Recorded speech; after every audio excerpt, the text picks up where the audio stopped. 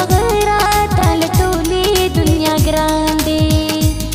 چې د لکور